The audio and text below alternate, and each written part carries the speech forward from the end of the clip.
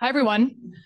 Um, so before I became a parent, this is what I thought parenthood was. You know, silliness and fun adventures and guiding these amazing little humans into being these kind, capable, big humans.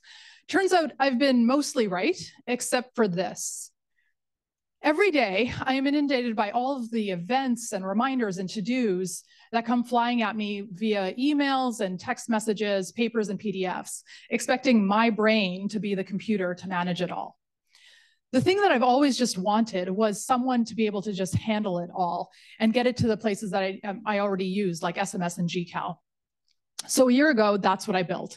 Uh, I was the bot behind the scene for 10 families, and I basically took in SMS and email and got it to the things that they already used. When that started to work, we looked to build a scale solution using GPT-4, where we created a AI co-pilot for parents.